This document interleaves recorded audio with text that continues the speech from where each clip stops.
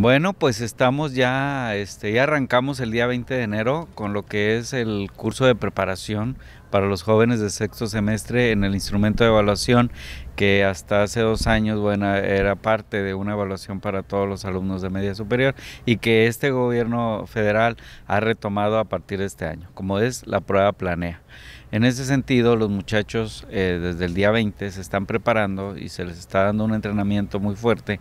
eh, apoyado con nuestros maestros del área de matemáticas y de lectura, expresión oral y escrita. En tal sentido que, bueno, son dos grandes áreas del conocimiento que como la prueba PISA, que también es una evaluación internacional, en el caso de la prueba Planea, una evaluación nacional, mide también las habilidades en el área de matemáticas y en el área de lectura. En ese sentido, bueno, los jóvenes están llevando a cabo este curso que les permite a ellos de pues prepararse más, los maestros identificar las áreas débiles para que ellos puedan este, subsanar esas debilidades y estar en condiciones en el próximo mes de abril de presentar esta evaluación que es a nivel nacional y que hoy por hoy sabemos que es un, un detonante verdad para los programas de estudio que continuamente se están reforzando y continuamente se están actualizando. Todos los alumnos de sexto semestre, que es un aproximado de 750 jóvenes, son los que están llevando a cabo esta preparación en los dos turnos,